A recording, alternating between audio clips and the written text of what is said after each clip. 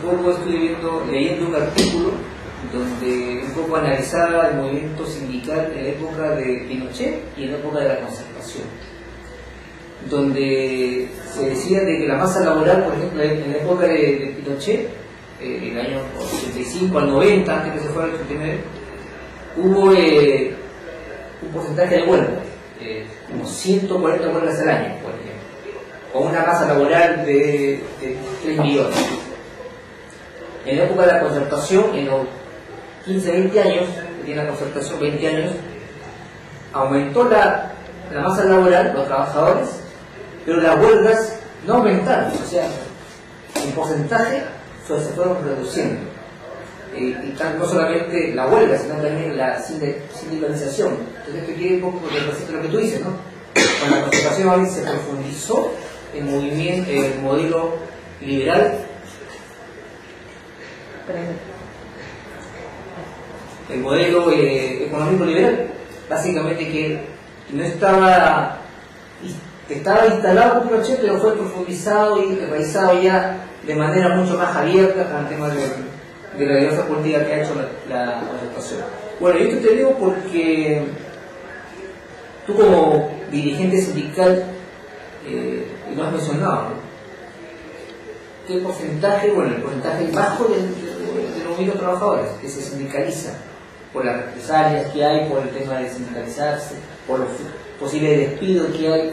¿Cómo ha repercutido toda esta política neoliberal, esta política de represión contra el movimiento sindical, hecha por, por la dictadura, pero cómo lo continuó, así en específico, en detalle, cómo lo ha continuado este gobierno, estos gobiernos de la concertación, para impedir de que el movimiento sindical se articule, que la organización sindical se articule. Bueno, mira, yo el... aquí hay, un par de aspectos que a nosotros nos gustaría resaltar. Primero, eh, que los compromisos, los compromisos que se hicieron, primero decir, los trabajadores fueron un elemento gravitante en la salida de Estado. Hubieron compromisos ahí de los políticos tradicionales respecto de estas malas leyes laborales que se implementaron, estas ilegítimas leyes que se implementaron en dictadura todos se comprometieron, pero hoy día nadie honró su palabra, hasta hoy día. Sin 20 años de concertación, nadie cumplió su palabra de cambiar estas malas leyes laborales, de cambiar el sistema previsional. ¿no? Entonces, lo que decimos de una otra manera, si tú viendo lo, graficabas, eh, aquí ha habido una, una implementación, o sea, ha habido una, una cabeza hecha a la medida no solo para los gobiernos de la concertación, sino que también para los gobiernos de la derecha. Se han administrado y han agudizado más aún las malas condiciones y malas leyes laborales. Y yo lamento que mismos compañeros nuestros hayan entrado en ese juego. Fíjate, y eso lo dice la historia, no lo digo yo. A principios del siglo, en este país, cuando se luchaba por cambiar la denigrante pago de las fichas, ¿no?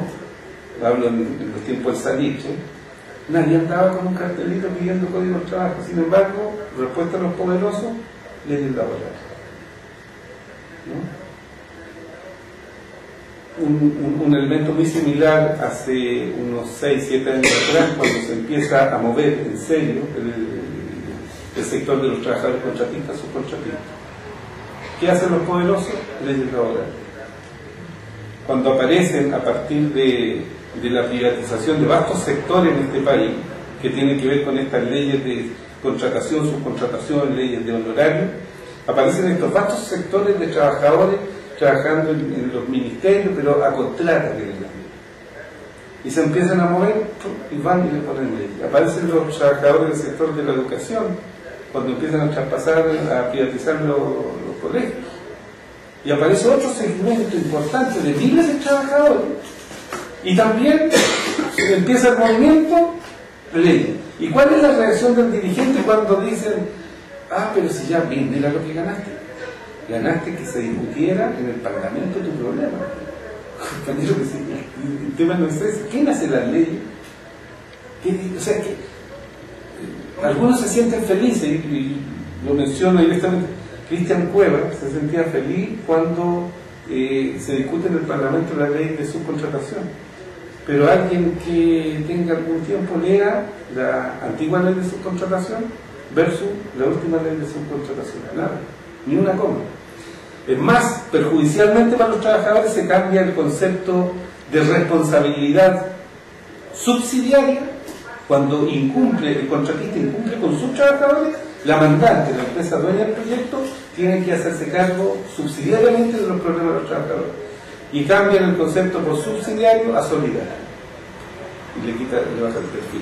Y de contrabando, lo único que sí eh, implementan como ley y promulgan como ley, lo que nosotros siempre sancionamos como ilegítimo, la venta de carne que le decíamos los sectores de trabajadores de contratistas, en donde existía una empresa que se llamaba agencia y contrataba a los trabajadores y se los pasaba a la empresa para que administrara la producción. Entonces, ese trabajador que, era, es contratado hoy día bajo ese concepto, ni siquiera conoce a su patrón. Entonces, ¿quién le administra? ¿Quién le dice, ya tenés que quedarte 6 horas a trabajar? Tenés que venir el domingo. Y ese, ese trabajador que trabaja bajo ese mando, no le puede cobrar al que lo mandó a trabajar en términos legales tiene que cobrarle al que lo tiene contratado en el papel. Entonces lo único que conoce el trabajador es la firma de su patrón que le firma el contrato, nada más. Y casi imposible que le vaya a cobrar algún derecho del día de hoy. Solo quiero decir una cosa que a nosotros nos preocupa y bastante.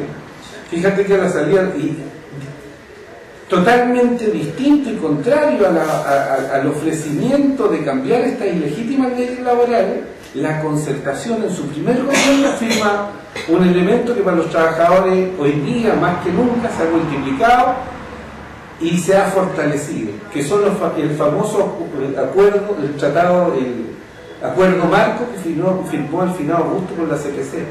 En Chaito, los tres, cuatro primeros meses, estoy hablando de los 90, se firmó un acuerdo marco entre el gobierno, la CPC y los trabajadores. Esos acuerdos marcos hoy día más que nunca se han multiplicado en vastos sectores de la población. ¿Qué significa eso? Esa es la antesala de lo que hoy día encuentran muy bueno algunos, o, la mayoría de, los, de, la nueva mayoría, perdón la redundancia, en donde hasta el PC hace alabanza respecto de la sindicalización obligatoria, por ejemplo. Y como el mundo, el mundo de los trabajadores es poco conocido, y claro, dice, no, entonces, ahora cuando, cuando sean millones los trabajadores afiliados al sindicato van a ser fuertes. Mentira, mentira. Lo que va a pasar es que ahí se le va a cobrar una especie de impuesto por trabajar a los obreros en este país. Y va a pasar lo mismo que hoy día está pasando en, México, por ejemplo, con las maquilas, en donde los trabajadores entran a trabajar, en su primera liquidación perciben que tienen un descuento sindical, pero nunca se han afiliado a nada ¿no? conocen a los dirigentes y por tanto empiezan a tallar estos acuerdos mal. Imagínense nomás la figura de que todos estuviéramos regidos porque la CUT hizo un acuerdo marco con el gobierno, el empresariado, y claro, libertad sindical le van a llamar. Pero ¿quiénes van a ser los dirigentes? ¿Quiénes van a interlocutar con el empresario? Solo los que definen el empresariado. ¿Y, a nosotros nos ha pasado en el, mundo de los trabajadores de la construcción, del montaje industrial. Fíjate que ahí hay un sindicato que hoy día, aunque no lo crean, distinto al resto del movimiento sindical, con esos acuerdos marcos hoy día son dueños hasta de una línea aérea, el CINAM, una línea aérea. De cotización tienen un promedio de 380 millones de, de pesos mensuales. Nosotros sobrevivimos con un millón y medio, dos millones de pesos y somos una organización de 1.500 trabajadores. Tú entras a trabajar en esa empresa y lo primero, cuando firmáis el contrato, en la segunda hoja tenéis que firmar la afiliación al sindicato. Pero si no te afilias al sindicato, no tenéis pega. Esa es libertad sindical, esa es fortalecer un movimiento sindical para pelear. Entonces hay que tener mucho ojo ahí, son como la oferta, lo único que ha ofertado hoy día la política tradicional al mundo de los trabajadores. Y del resto los problemas de los trabajadores no se discuten, no es tema hoy día para los candidatos el asunto de los trabajadores. Y eso nos tiene bastante preocupados. Y termino señalando una cosita. Fíjate que no les bastó este plan laboral a este sistema para poder echar a andar y hoy día desarrollarse como se desarrolla.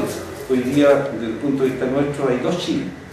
Hay un Chile que entró hace más de un año a la OCDE, el club de los países más, más ricos del mundo, y hay otro Chile que está mirando y, se está preguntando quién es parte de, eso. O sea, ¿somos Chile también nosotros, los trabajadores? ¿Somos parte de ese Chile?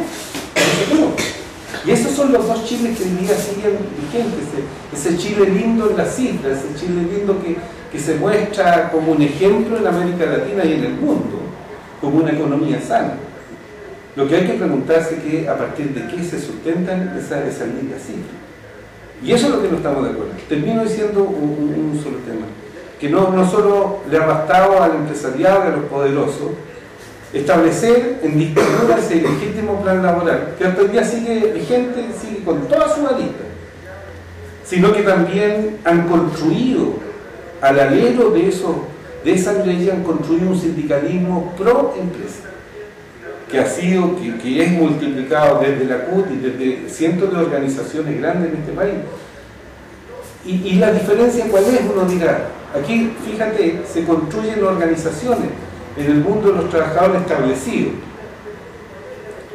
Se preparan, preparan todo su ámbito para la negociación, el acuerdito con la empresa. Nosotros decimos contrario a eso.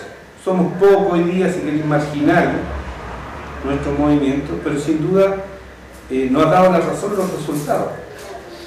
En promedio, la Dirección del Trabajo reconoce que las negociaciones colectivas en este país no, no han sobrepasado el 1% de reajuste real. Y eso es cierto. El 1%. El 1% real. En cambio, este tipo de negociación que nosotros hemos enfrentado, que hablo desde la última, Celta, Unísono, Ruta 160 por el norte, y así una serie de, en Conecta y, y otros conflictos que hemos enfrentado, no han bajado del 7-8%. Pero ¿cuál entonces es la, lo que nosotros decimos eh, que hay que empezar a construir? Primero, que no hay ninguna ley, ni el derecho a negociación, que una burla, el derecho a huelga, que otra burla hacia los trabajadores, que va a garantizar la mejoría de condiciones laborales y salariales, que no sea la fuerza de los trabajadores. Y construir a los trabajadores en estos contextos de negociación con una lógica muy clara. El plan laboral de los 80 le da plena y amplia garantía al empresariado respecto a la huelga, del derecho a huelga y del derecho a fuera. Entonces, ¿qué hace un trabajador? Si un trabajador cree que parado en la esquina o a la salida de la empresa con un lienzo y un tarrito pidiendo plata, le va a ganar a la empresa hasta que Y ese tipo de sindicalismo sí se propone. Ese tipo de sindicalismo se ejerce en este país. Y esas son las diferencias entre eso, esos sindicatos que creen que, con huelgas de hambre, por ejemplo, ¿no? o con, contar ahí 20, 30 días, ¿no? la huelga no existe en este país.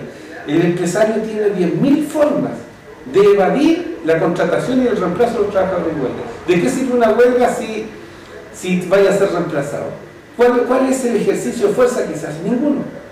Ninguno, ninguno, porque hasta los organismos fiscalizadores cooperan, la Dirección del Trabajo coopera para que la huelga se haga con, con reemplazo. No se multa a las empresas, no se fiscaliza. Y cuando se fiscaliza, se fiscaliza una media hora en un contexto de una huelga que puede durar 10, 20 días. Le basta con esconder. Es más, fíjate que en términos legales, en la última oferta que entrega la empresa, puede declarar que le, le ofrece a los trabajadores pagarle 4 OF, no por trabajador reemplazado.